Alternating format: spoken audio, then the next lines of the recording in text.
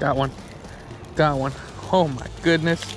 Check that guy out. He is so mad right now. These are the little guys that you gotta be careful for. These are the guys that'll end up with trebles all in your fingers.